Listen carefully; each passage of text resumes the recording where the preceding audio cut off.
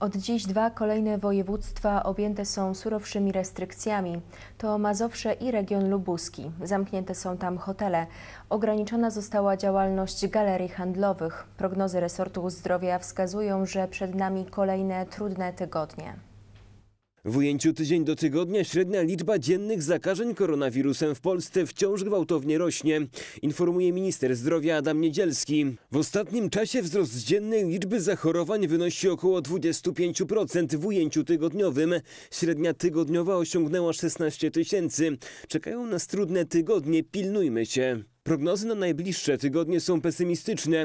Resort zdrowia szacuje, że szczyt w przypadku trwającej fali ma nastąpić na przełomie marca i kwietnia, czyli kilka dni przed świętami wielkanocnymi. Te scenariusze pesymistyczne w naszej ocenie oznaczają, że niedługo dojdziemy do tej średniej dziennej liczby zachorowań rzędu 20 tysięcy. Tam, gdzie już teraz liczba chorych rośnie najszybciej, resort zdrowia wprowadził obostrzenia.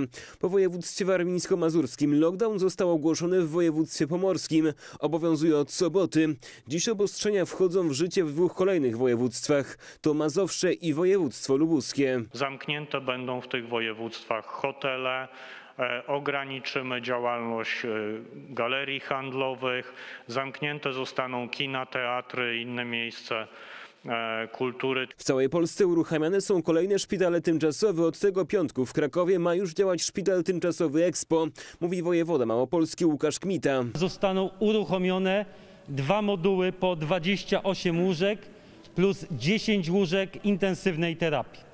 Łącznie będzie więc to 66 łóżek. Mamy teraz gotową infrastrukturę, która właśnie pozwala nam zmierzyć się z tak szybko rosnącą liczbą zachorowań. Od 20 marca pierwsi pacjenci mają być przyjmowani do szpitala tymczasowego w Radomiu. Z kolei od soboty działa już szpital wojskowy na Okęciu.